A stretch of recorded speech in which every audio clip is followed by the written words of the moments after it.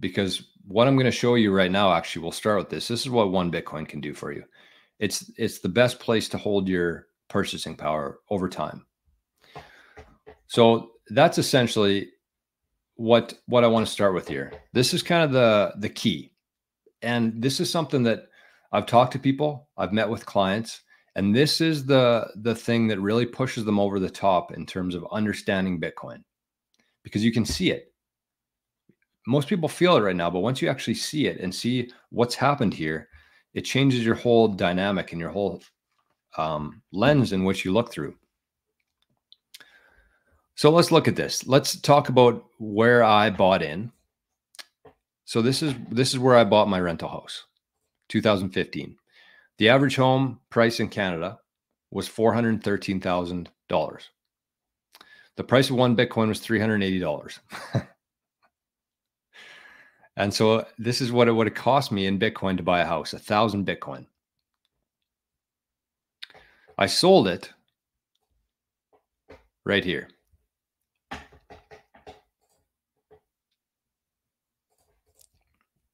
Twenty twenty one. The average home in Canada was six hundred eighty eight thousand. The price of Bitcoin was fifty thousand, and that would have cost me thirteen Bitcoin to buy that house. So you can see the difference here. And this is, I think, that most people can really relate to this because they, they've seen the prices of houses go up over the last 10, 20 years significantly in dollars. And that's kind of the world that we live in. And that's what the lens, that's the lens that everybody historically has looked through. They see that their house has gone from 413,000 to 688,000. So my personally, mine was about 200,000 and it went to say 250,000. So that's a pretty good investment. Plus, if you're doing things right, you should be making some money uh, from your tenants. You should be paying down your debt. But that's uh, if you look at the average returns over real estate, it's not really that high. So your price went from 413 to 688,000. But look at Bitcoin that house cost you a thousand dollar or a thousand Bitcoin back in 2015. And in 2021, it cost you 13 Bitcoin. And this is real estate, but you can look at any other asset on earth and use this exact same. If you measure things in Bitcoin instead of fiat, you'll you'll realize what's happening here in the world. Everything is falling in comparison to Bitcoin. Everything. So that that was uh unfortunately I didn't time it this well. I bought a rental house here instead of Bitcoin. so not ideal for me. That's what I regret is even buying it, but I didn't have a clue what Bitcoin was back in 2015. So I'm not going to spend too much time living in the what if world. I'm just happy that I got out of it when I did. So that's the first aspect. You have to look at the you have to measure things in Bitcoin. When you measure things in Bitcoin, it looks totally different than when you measure things in fiat. Totally different. So that's the first one. And a very, probably the most important one there. And even realtors understand that. I met with a realtor two weeks ago and she totally wrapped her head around what's happening here. House, house prices are going up, but when you actually measure it in Bitcoin, housing prices are going way down compared to Bitcoin.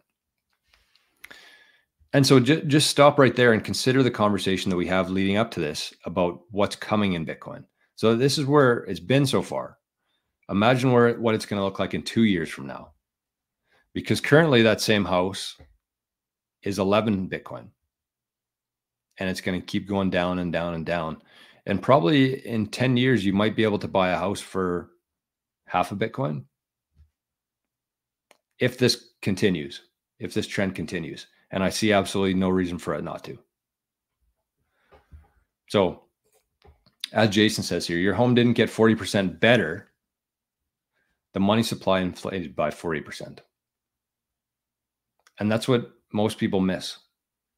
Homes don't get more valuable. If you put a new hot tub in, or if you, you know, do a whole bunch of landscaping, you reno- renovate your kitchen, it, you put money into it and it becomes more valuable. But just because your house sits there for a while nothing changed. It didn't become more valuable. The money supply just increased. And that's the paradigm shift. That's the mindset that most people miss.